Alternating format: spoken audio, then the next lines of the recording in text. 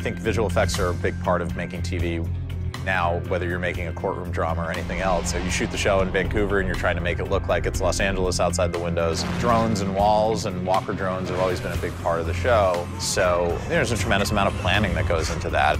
My first responsibility is to read the script, find everything that would be practical to shoot with a camera and what things are easier to make in CG. And then start drawing pictures and figuring out what those guys are looking for and how they envisioned it when they wrote the script.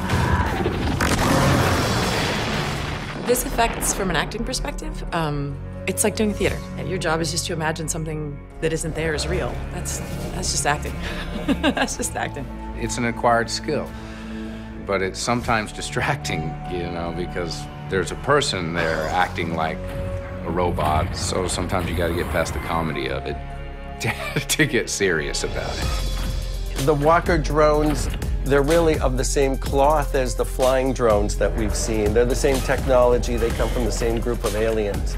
We created a scale guide for a production assistant to walk through the shots. What's happening? Gave the actor somewhere to look so it was just some poles with some strategically placed tennis balls. There's more than two people in the scene. The trick is always making sure that your eye line is in the same place at the same time and you're reacting to something on the same scale. And then it's down to little questions like, well, when its eye turns on and it looks at us, is it blinding? Where are the weapons on this thing that we would be clocking? How loud is it when it comes towards you? That kind of a thing, you know, so that you're making sure that all of your senses are reacting to it. What the hell?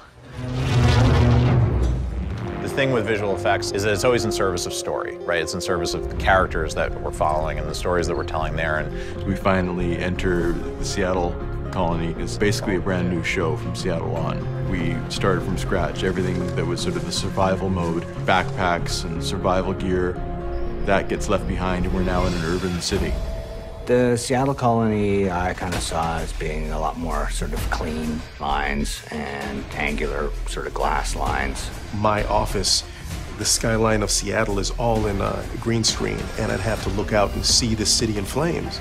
I could just let this city burn. It's always great fun to see this stuff visualized and come together because it's the last thing in the process. You know, you write the episode, you prep the episode, you shoot the episode, and then months later you get to see the thing starting to come together. And it's really, you know, it's really great and really satisfying.